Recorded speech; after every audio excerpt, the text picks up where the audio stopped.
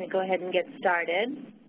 Um, thank you everyone for joining us for today's webinar, Ethically Impossible STD Research in Guatemala from 1946 to 1948. Um, my name is Dawn Hagland. I'm the Senior Director of Professional Development at the Society for Public Health Education. And on behalf of SOPHE, we're pleased with your interest in today's webinar and are thankful that you've taken time out of your day to participate. SOPHE is delighted to partner with the Presidential Commission for the Study of Bioethical Issues in a series of three webinars. Today is uh, the second of those three webinars. Uh, before we begin, I want to start with a few housekeeping items. I'd like to encourage you to take down this toll-free number just in case you experience any difficulties with the event today. You can obtain technical support um, anytime during the session by calling the number on your screen. Please note that all the participants today will be muted. Uh, after hearing from our presenter, we will have a question and answer time.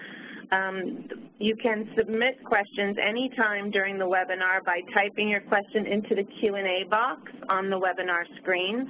We encourage you to do that um, as you have questions, and we will address them at the end of the, um, the webinar.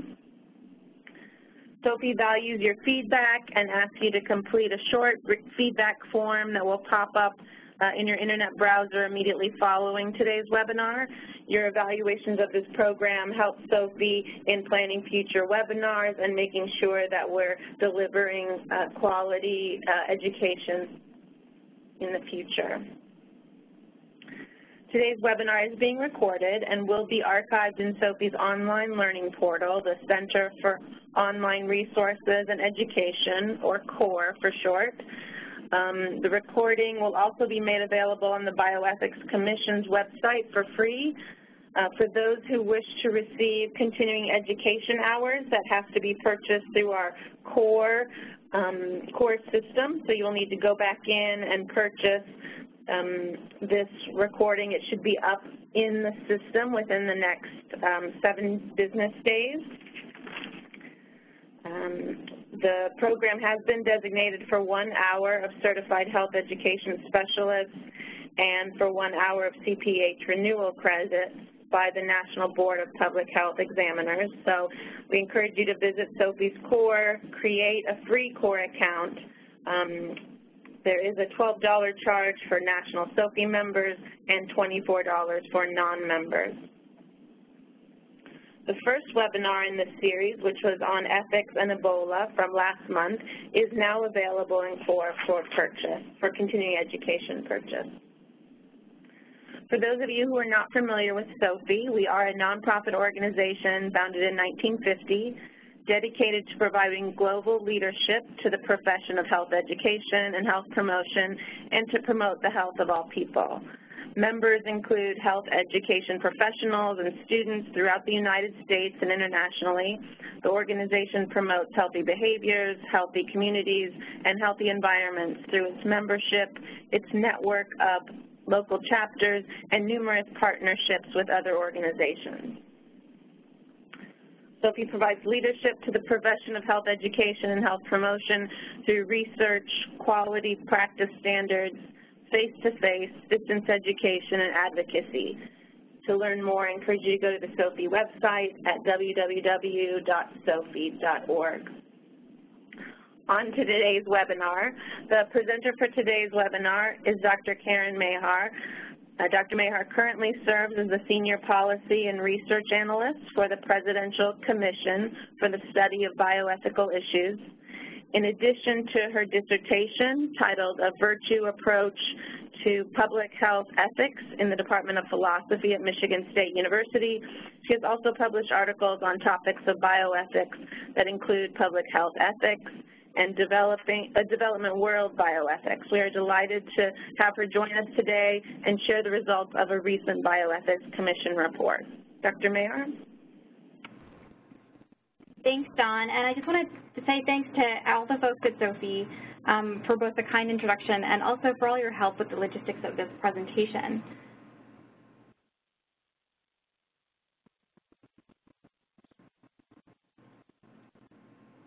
Um, as mentioned, um, the Bioethics Commission um, is involved with policy in an interdisciplinary field that brings together many forms of expertise.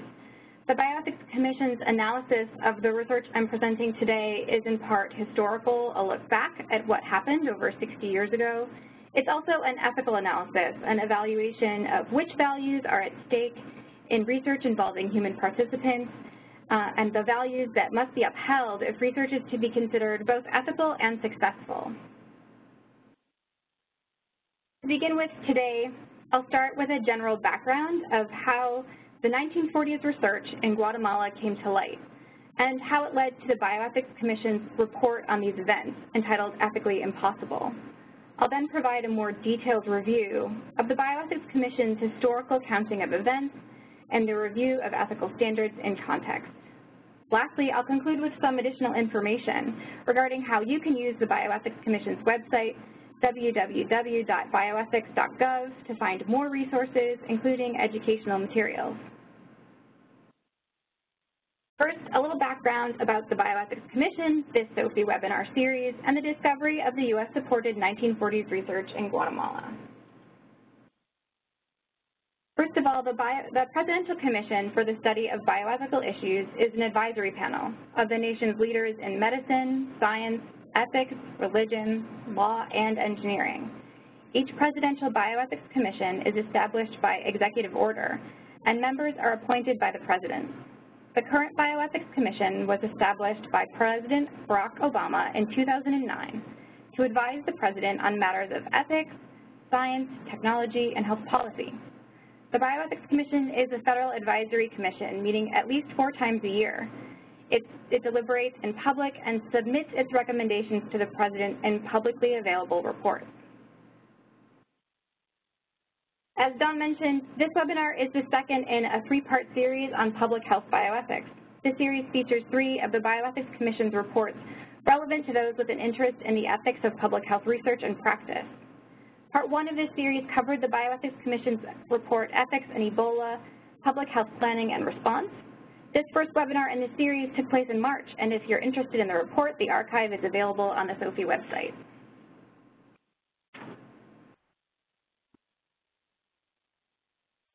This presentation is the second webinar in the series addressing the Bioethics Commission's report entitled Ethically Impossible. This report concerns research ethics violations concerning the U.S. government-sponsored research that took place during the 1940s in Guatemala. Briefly, the 1940s research in Guatemala addressed by the Bioethics Commission involved two different kinds of experiments that occurred during this period. The first were intentional exposure experiments that occurred um, from 1947 to 1948. Individuals from many vulnerable populations were exposed, including commercial sex workers, prisoners, psychiatric patients, and soldiers. Individuals were exposed to various different infectious diseases, including gonorrhea, syphilis, and chancroid. Exposure methods included sexual intercourse, skin contact, injection, scarification and abrasion, and cisternal puncture. The second kind of experiments were serology studies, including blood draws, lumbar punctures, and cisternal punctures. I'll expand on each type of these research in a moment. But first, it's important to acknowledge that most research ethics teaching starts with lessons in history, and this case is no different.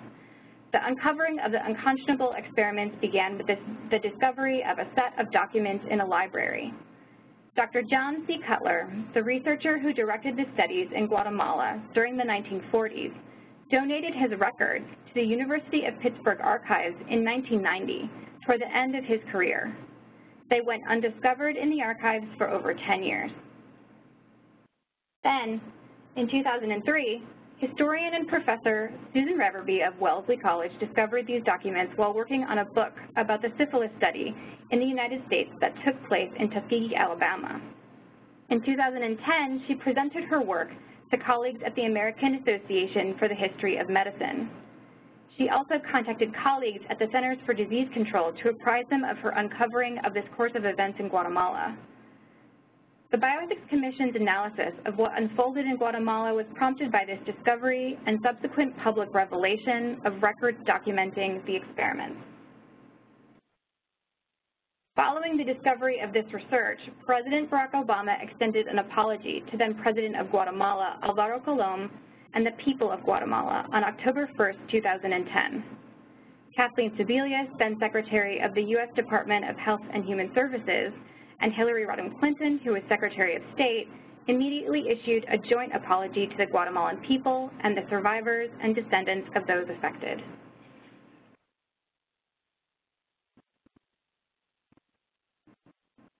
In November of 2010, President Barack Obama charged the Bioethics Commission to undertake a thorough review of what occurred during the, the experiments, noting that these events constituted what he called a sobering reminder of past abuses. At the end of 2010, the Cutler documents were transferred to the U.S. National Archives with copies sent to the Bioethics Commission to inform their analysis. The Bioethics Commission's final report on the STD research in Guatemala was completed in September 2011. The report is entitled Ethically Impossible and is publicly available for download in both English and Spanish at the website bioethics.gov. In addition, the Bioethics Commission produced a companion study guide to facilitate instructors who want to use these events to teach students about the history of research ethics violations.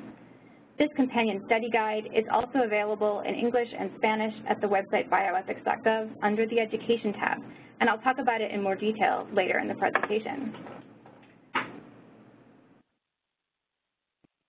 The first step of the Bioethics Commission's analysis was to undertake a thorough historical accounting of events. This meant attempting to determine what had taken place decades earlier, using the information available in the archived documents as well as publicly available information. To complete its analysis of events at the time, the Bioethics Commission reviewed over 125,000 pages of original records and 550 published documents. During the next section, I will focus on what they found primarily through the archives of John Cutler, called the Cutler Documents for short. These archives included experimental notebooks, note cards documenting procedures and test results by subject, and final reports which helped piece together a sequence of events. I return later in the presentation to what the archived correspondence revealed. As evidenced by these public health posters, STDs were viewed as undermining national defense at the time. On the left, a poster proclaims that sex without prophylaxis is pro-Axis, highlighting the importance of the World War II context that was um, slightly preceded these experiments. On the right, the machine that is the U.S. war effort is being sabotaged by an enemy agent, venereal disease, depicted as a ghostly skeleton. The Bioethics Commission's report aims not only to detail these events that unfolded in association with the research in Guatemala, but to contextualize as much as could be known at the time about experiments that took place over 60 years before their ethical analysis took place. As these posters indicate, these experiments occurred in the late 1940s as World War II was drawing to a close. STDs has, had long been a concern of the U.S. government. For example, in 1938, U.S. Surgeon General Thomas Parran testified before Congress in support of proposed legislation to expand funding for public health prevention efforts and research in this field. At the beginning of World War II, STDs posed a major obstacle to members of the military and therefore the success of their efforts. Although World War II was coming to an end, the STD research in Guatemala was seen by those who knew and supported it not only um, as an important novel and scientific advancement, but also as an ongoing endeavor to support and advance military operations.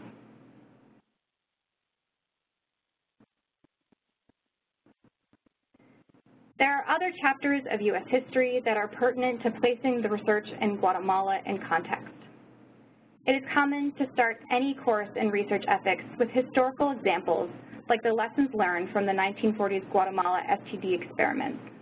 These terrible events help to explain why we have the system of regulatory oversight for research involving human participants that we have today. But precisely because this example often raises the specter of the U.S. syphilis experiments in Tuskegee, Alabama, it's important to clarify both the similarities and the differences between the experiments. When it comes to similarities, both kinds of experiments involved some of the same people, including John Cutler, who led the Guatemala STD experiments in the 1940s and whose archived documents are a major source of our knowledge about what happened. Cutler was later involved in the Tuskegee syphilis study in the 1950s.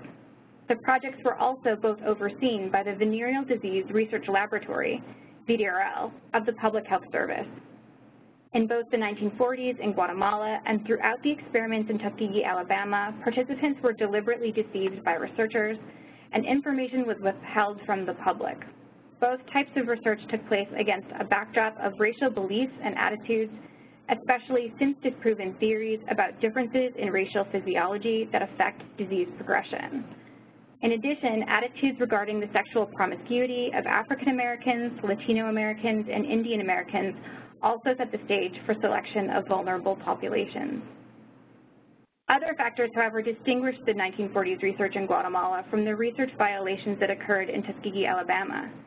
The most important of these is location. The research in Guatemala ended long before the work in Tuskegee stopped, and took place over a much shorter period. Importantly, subjects in Guatemala were deliberately exposed to infection. In contrast, those in Tuskegee, Alabama were already infected with syphilis when the study began and were left untreated, some for as long as 30 years, despite the availability of effective treatment like penicillin. To talk about the research experiments in Guatemala in more detail, Uh, it's important to think about the initial experimental design that researchers approached these experiments with.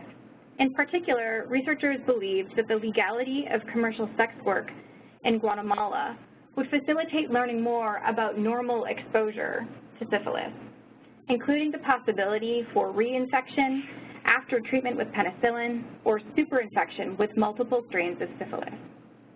Researchers including John Cutler and Juan Funes, a Guatemalan physician, were also interested in studying different methods of STD prophylaxis, including comparing penicillin to the preferred method of the day, Orvus mapharsen, a wash for prevention of both syphilis and gonorrhea.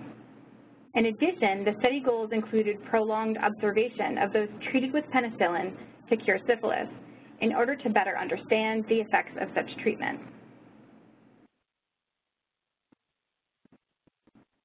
Provide additional details, I'll now speak more about the intentional exposure experiments in particular. These took place from 1947 to 1948.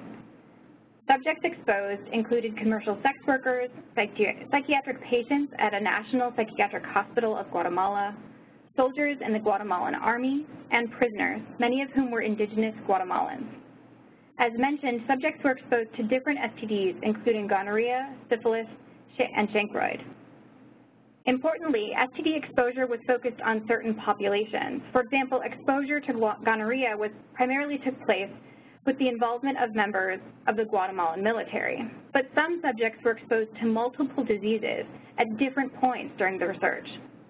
Subjects were exposed through various different methods, including sexual intercourse with commercial sex workers, skin contact, including inoculation of genitalia, scarification and abrasion of subjects' penises, and cisternal puncture. For example, syphilis was injected into the spinal fluid at the base of some subjects' skulls. The Bioethics Commission's review of the historical records of these experiments enabled them to painstakingly piece together a sequence of events as pictured in this timeline. In the pink column on the far left, the timeline depicts how experiments involving exposure to gonorrhea began early in 1947 and were especially common among members of the Guatemalan military. Meanwhile, the central columns in, blue and yellow depict how syphilis exposure experiments started somewhat later among prisoners and psychiatric patients. Chancroid exposure began yet later in 1948 among patients in a psychiatric hospital and is not pictured on this truncated version of the timeline, but you can view the entire full timeline uh, in an appendix from the report online. Next, I'll discuss in more detail the second kind of experiments, the serology studies. These were performed both concurrently and long after the exposure studies concluded, extending from 1946 to 1953. These studies attempted to perform diagnostic testing among orphans, school children, leprosarium patients, U.S. servicemen in Guatemala, as well as all those same populations involved in intentional exposure research. Serology testing included blood draws, lumbar punctures, and cisternal punctures. John Cutler left Guatemala in 1948 at the end of the exposure studies. After his departure, the serology studies continued under the supervision of Dr. Funes and Dr. Carlos Salvado, a director of the psychiatric hospital, and with continued funding from the U.S. government.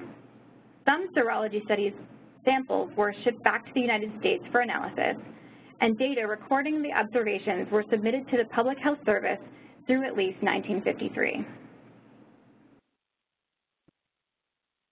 Pictured here is a map of where the 1940s experiment in Guatemala took place.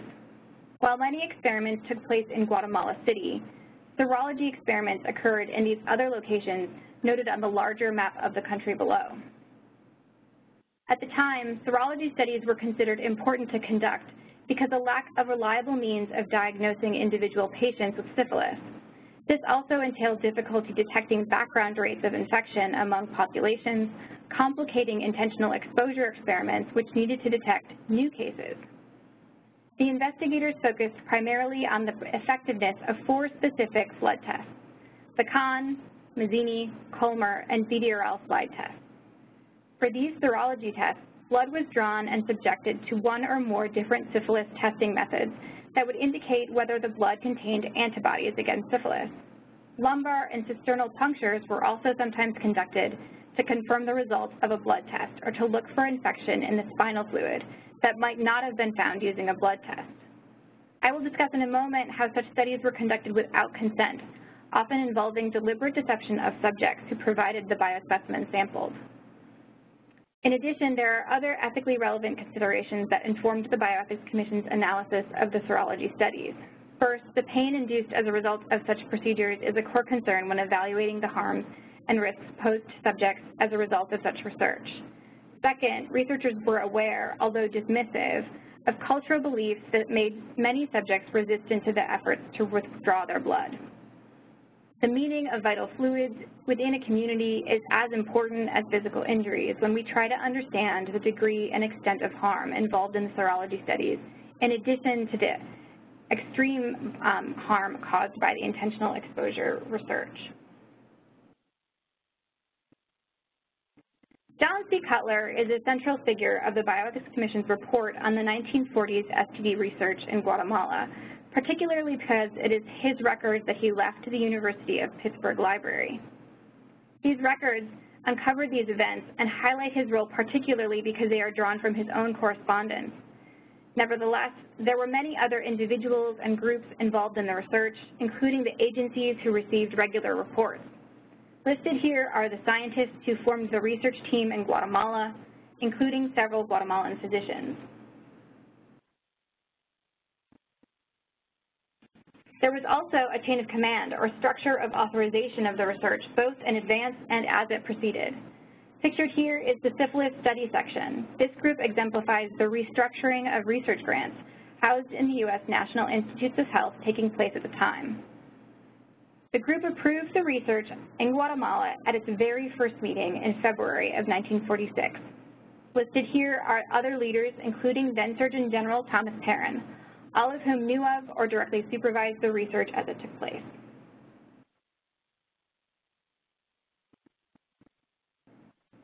Several agencies provided support in the form of organizational infrastructure, administrative services and logistics, or resources. Point here is not to provide a definitive and exhaustive list of those to blame.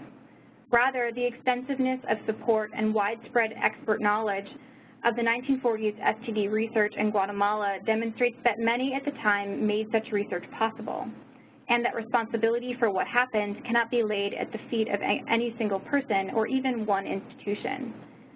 Moreover, although many individuals and organizations contributed to making the research possible, the deliberate attempts of some of those involved to contain information of the details of the research it's also not clear who knew what was occurring at the time or after the research was concluded.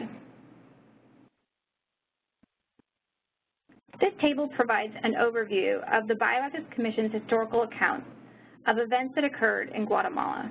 In sum, the intentional exposure experiments and serology experiments combined involved over 5,000 people, the cell at the very top right. Below this, the box indicates that the, ad, the age of subjects ranged all the way from young children to elderly adults. Lastly, I'll emphasize the box on the bottom right, which focuses on the exposure experiments. Overall, 1,308 people were intentionally exposed to one or more STD during the course of research. Records at the time were far from complete, but documents that 678, or approximately half of the individuals of this group, received some form of treatment. The incompleteness of records and the indeterminate causal relationship to intentional infection makes it impossible to determine how many individuals were infected directly as a result of exposure, and how many were subsequently effectively treated to address such infections. John Cutler's contemporaneous records note 83 deaths during the course of the experiments. The exact relationship between the experimental procedures and the subject's death is yet again unclear. John Cutler attributed these deaths primarily to tuberculosis and the fact that both acute and chronically ill patients were involved as, as subjects. But there remains the deeply disturbing possibility that some of these deaths were not only avoidable, but a direct result of the experimental exposure.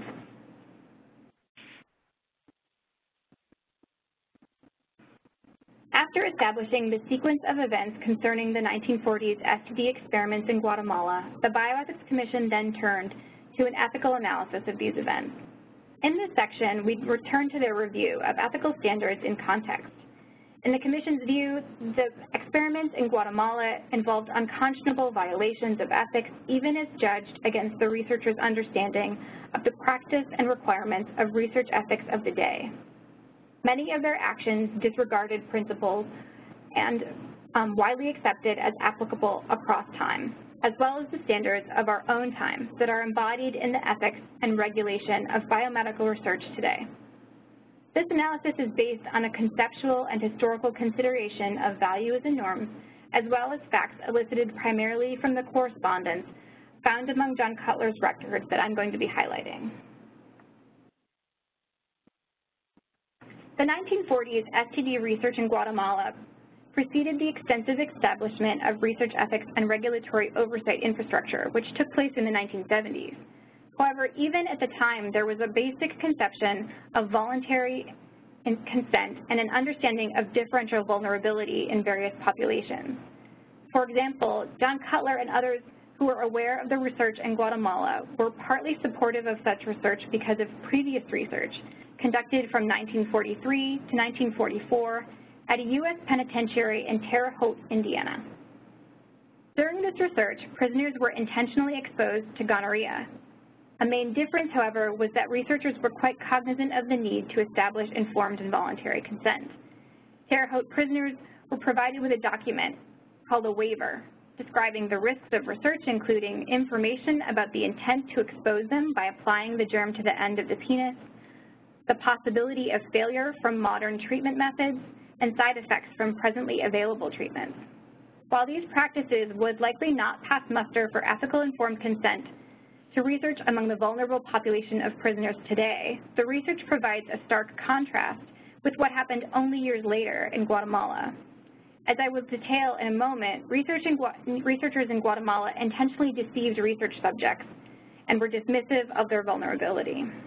Racism, too, played a role in the researcher's view of disclosure. For example, in this correspondence from John Cutler to one of his supervisors, Dr. Richard C. Arnold, he mentions that some of the Guatemalan prisoners referred to by the researchers as Indians did not even need to have the research, ex research explained to them, quote, as they are only confused by explanations and knowing what is happening, unquote. This observation reveals the influence of, influence of racial beliefs and attitudes on both researchers' perceptions of participants and how this translated into their research practices. Some of those aware of the research expressed reservations given the selection of vulnerable populations. In this correspondence, the same supervisor, Richard Arnold, says he is a bit in fact, more than a bit, leery of the experiment with insane people, as they, quote, cannot give consent and do not know what is going on. He appears primarily concerned with the exposure to criticism because he goes on to say, quote, if some goody organization got wind of the work, they would raise a lot of smoke, unquote. However, Arnold notes it appears hopefully that, a, that, quote, a patient or a dozen could be infected, develop the disease, and be cured before anything could be suspected. Your first study could be done in a short time, and none would be the wiser, unquote. He advises John Cutler not to mention where the work was done, who the subjects were in the final report, and ends with a warning to be sure all the angles have been covered.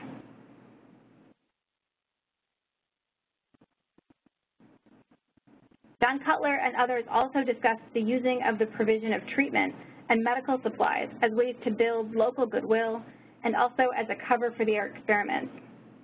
John Cutler noted in one letter regarding research among psychiatric patients that even he was having trouble keeping the story straight um, as they were not telling the subjects involved that there was an experiment underway. He noted, we are explaining to patients and to others concerned, but with a few key exceptions, that the treatment is a new one utilizing serum followed by penicillin. This double talk keeps me hopping at times.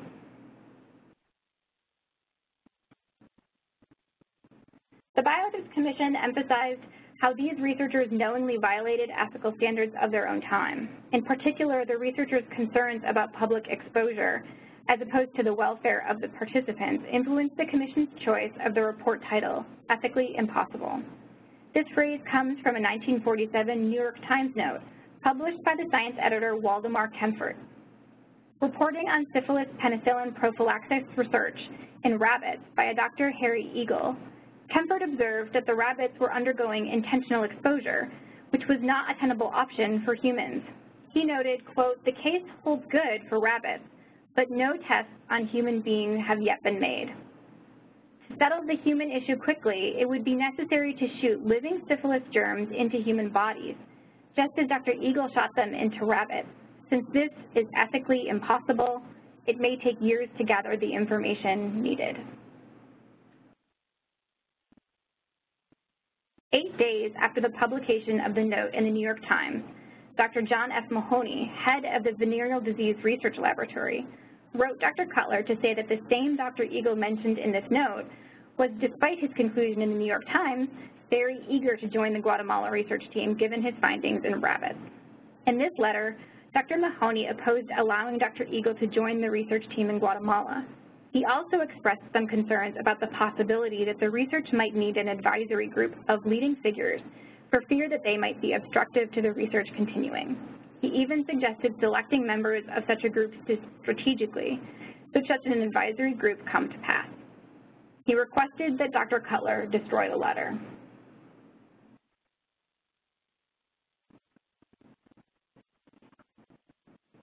Kaempffert's New York Times note was of particular interest to Dr. Cutler and his colleagues. Having planned precisely the experiment Kaempffert described as being ethically impossible, only weeks later Cutler wrote back to John Mahoney. In this letter, he echoed concerns to avoid public scrutiny of the research. Citing the Kaempffert piece, Cutler writes, quote, it is becoming just as clear to us as it appears to be to you that it would not be advisable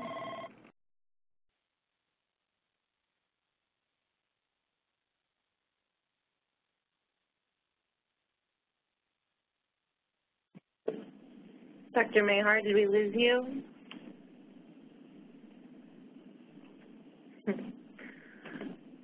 um, we may have lost her there in um, the phone for just a moment. I'll ask you to bear with me for a second, and we'll see if we can get her back.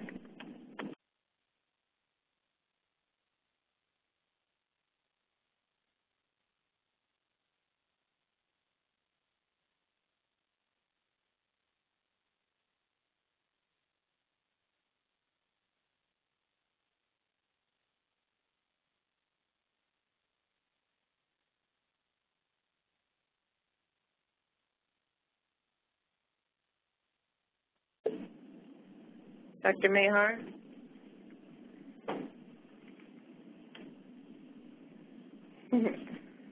I apologize. We'll keep working to try and get her back here and uh, finish the presentation. I ask for your patience for just a moment.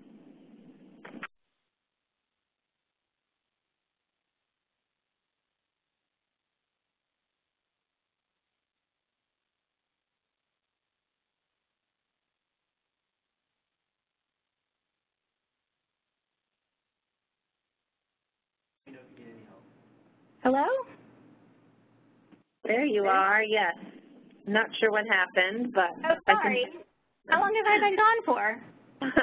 um, you were um, just going on to your 40, the slide 40, um, just finishing up the one before. So uh, there was a brief sound maybe from your phone, I'm not sure, and then you went silent for a moment. So glad to have you back. Oh, yeah, great. I'm glad that I wasn't gone for too long there. Yeah.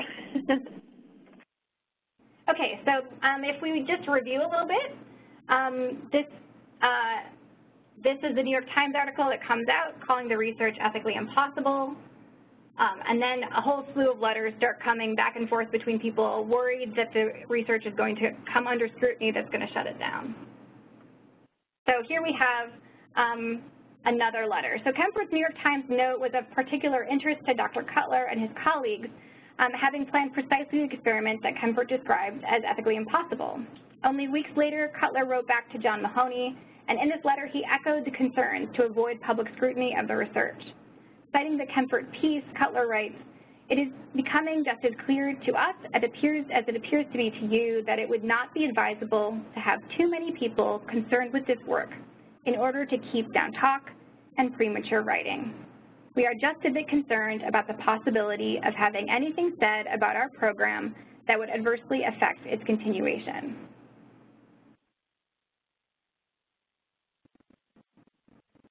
There is also evidence that the study site selection of Guatemala was knowingly viewed as a way of getting around ethical, legal, or public concerns that might arise in the United States. In this letter written by one of Cutler's colleagues at the Public Health Service, he observes that awareness of the research reached the highest levels, including Dr. Thomas Parran, then Surgeon General. He writes, I saw Dr. Parran on Friday. He was familiar with all the arrangements and wanted to be brought up to date on what progress had been made. As you well know, he is very much interested in this project, and a merry twinkle came in his eye when he said, you know, we couldn't do such an experiment in this country. Prior to 2010, Dr. Parran had been recognized as a leader in public health achievement for his work in bringing attention to sexually transmitted diseases at a time when they were little discussed in American society. The discovery that he approved the research in Guatemala recently led the American Sexually Transmitted Disease Association, the ASTDA, to rename their Thomas Parran Lifetime Achievement Award in 2013. It is now renamed the ASTDA Distinguished Career Award. In conclusion, today's researchers are frequently well aware of how we must learn from the past.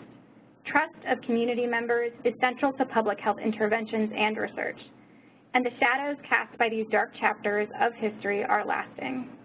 The Bioethics Commission's commitment to identifying the full facts in this case will help ensure, going forward, that current rules for research participants protect people from harm or unethical treatment wherever research occurs. Moreover, recognition of the full extent of harm and injustice done to other communities in the past is the first and most important step in making amends. 60 years is a long period for such serious course of events to remain unknown. The Bioethics Commission is particularly committed to outreach, to connecting with stakeholders with an interest in these events and their analysis provided in the report Ethically Impossible. As a part of their outreach efforts, the Bioethics Commission has produced companion educational materials for each of their reports. I mentioned at the beginning of this presentation that if you are interested, you can find these in the education section of our website. That's www.bioethics.gov education. Here, I have provided a list of the educational materials that accompany Ethically Impossible, the report. As a reminder, if you are using the events that took place in Guatemala to provide students or colleagues with an update on topics in research ethics, the companion study guide is a particularly useful resource and is available in both English and in Spanish. The study guide features sections that can be pulled out to focus in on one dimension of the research, such as the section on vulnerable populations.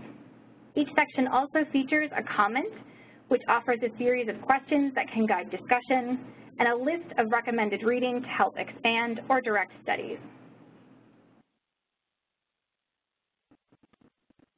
In addition to our website, please connect with us on social media, our blog, on Twitter, and on YouTube. I look forward to your questions now, but if you think of something later, and I always do, please feel free to reach out to us over email. Our email address is info at bioethics.gov, and I'll hand it over um, to you, Dawn, to find out if we have um, some time here to field some questions from our attendees. Great. Thank you, Dr. Meagher. Um, again, thank you uh, for your presentation. And again, if you have any questions, there's a Q&A chat box on your screen. I encourage you to type in a question, and we can spend a few minutes um, answering those here um, before the end of the hour. Uh, the only question I have right now is, are there international courts investigating such abuse as criminal behavior? I'm not sure if they're reflecting on the what had happened um, or maybe how it was handled now that it's been public. Um, I'm not sure um, regarding an update on the legal state of affairs. Um, I will say that um, there was an independent investigation and an independent report done by the country of Guatemala. And was there an outcome or? Um, I think they have a report. I don't know if it's as publicly available as our own. Okay. Okay. Um, we can wait just another moment for um, additional questions. Um, thank you for the clear presentation. I know it's a lot to cover in a short amount of time. I'm curious if there's anything you'd like to draw attention to or expand upon given a few additional minutes.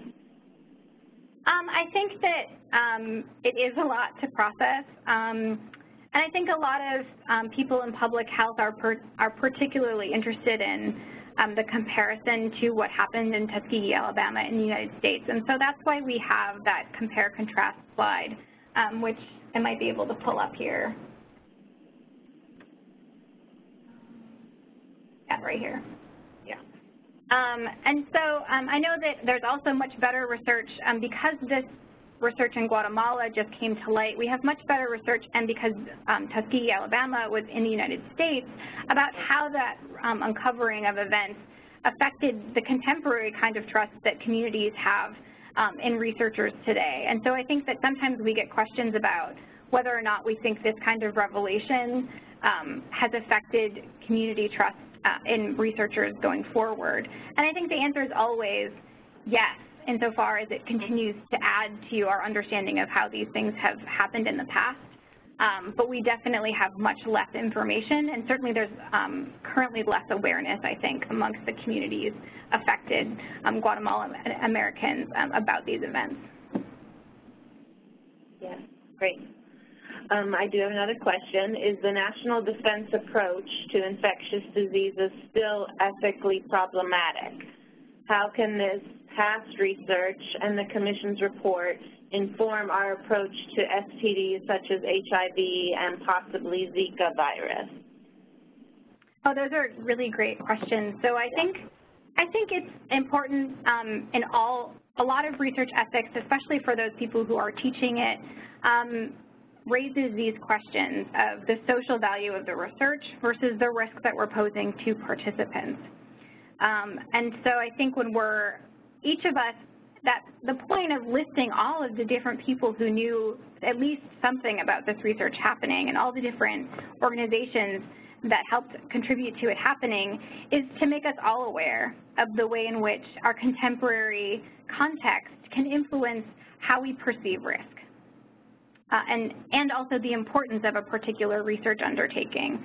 And so I think uh, that is partly why we have IRB oversight right now is, is in order to try and um, take someone who isn't in charge of the research or isn't in charge of even that area of research, right? So this re research was overseen by other people who were researchers in public health and in STD research. So they were very interested in seeing it go forward.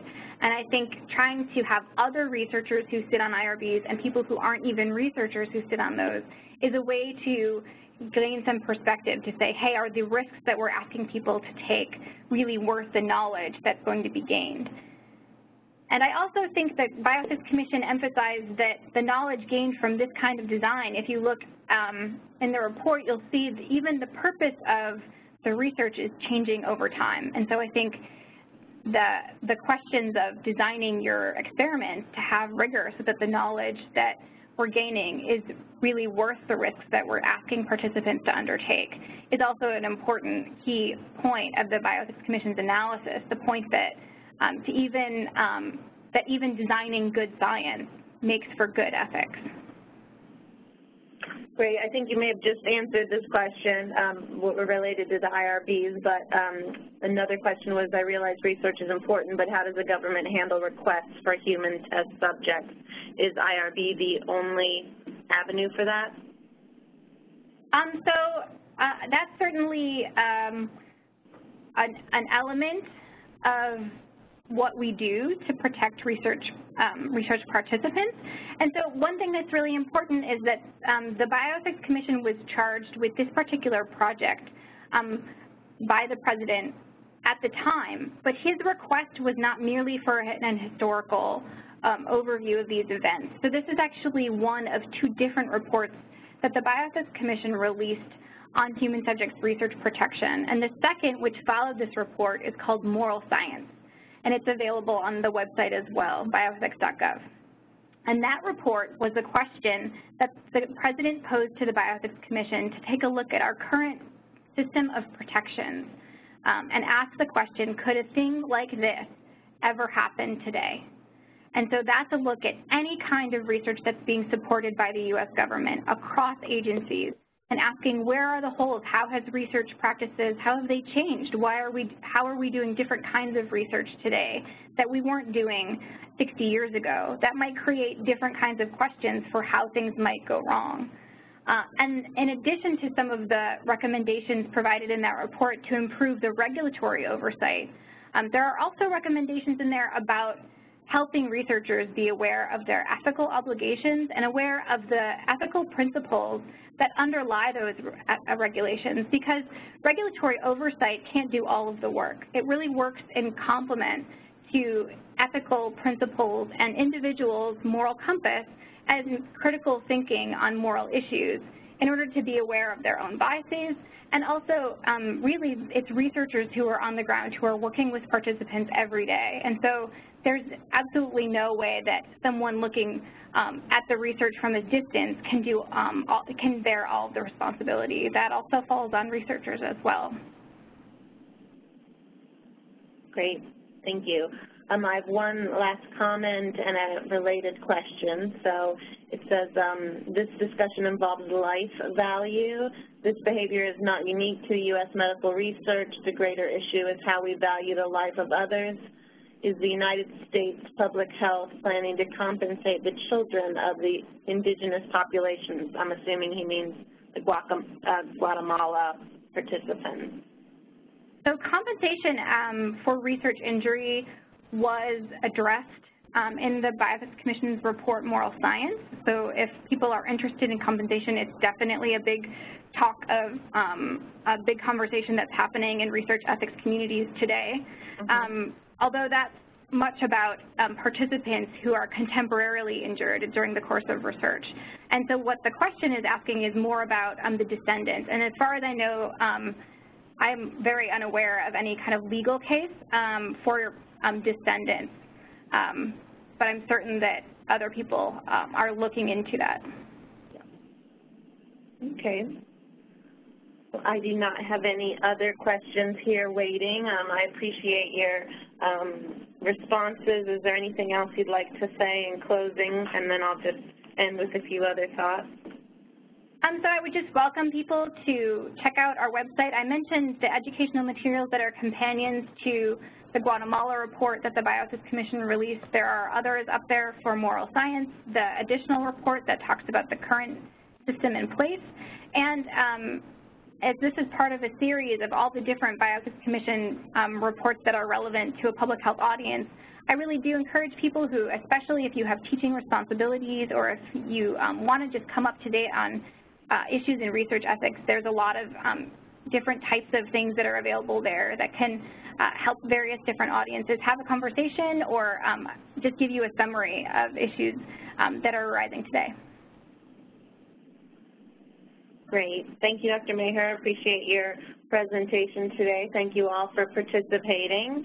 Uh, just a few quick closing things. Um, uh, we just just a note that uh, if you'd like continuing education for CHES, MCHES, or CPH, you can purchase that after um, this webinar is available on the SOPHE Core webpage. And just an encouragement for those of you who are interested in um, this topic, we have one more in our series with the Presidential Commission for the Study of Bioethical Issues. That webinar is scheduled for May 25th at the same time, 2 to 3 o'clock Eastern, and we will be looking at a May released report from the Bioethics Commission on bioethics education in the context of public health. So we hope that you plan to join us now. Um, you can go to the SOPHE website for um, registration. And um, thank you for attending today and your presentation, and this ends the webinar for today. Thank you.